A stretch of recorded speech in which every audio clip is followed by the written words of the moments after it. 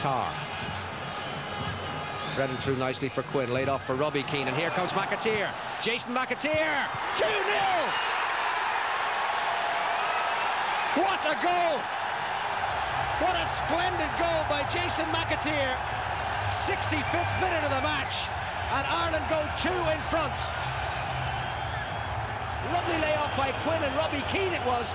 Finally play, plays it on a plate for Jason McAteer, and that shot rifled across the bows of Edwin van der puts Ireland 2-0 in front. Only the second time that Jason